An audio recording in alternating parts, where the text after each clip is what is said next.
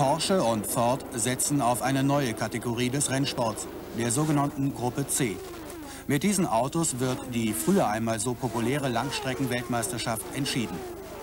Bei dieser Veranstaltung auf dem Norrisring in Nürnberg waren 70.000 Zuschauer begeistert. Es war spannend, der Sieger fuhr mit nur einer Sekunde Vorsprung durchs Ziel.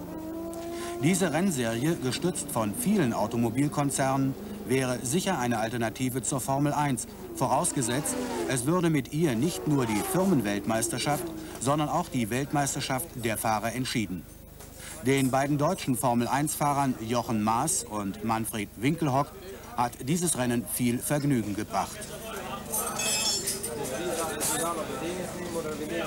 Manfred Winkelhock, was macht nun eigentlich mehr Spaß? Hier mit der Gruppe C zu fahren, mit der Formel 1 zu fahren. Was macht Ihnen mehr Spaß? Ja gut, der Fahrspaß ist mit Sicherheit hier im Gruppe C oder ein bisschen größer als in der Formel 1. Und das hängt mit Sicherheit damit zusammen, dass ein Gruppe C oder kann man auch mal ein bisschen quer fahren, es ist spektakulär zu fahren und es bringt dem Fahrer einfach mehr.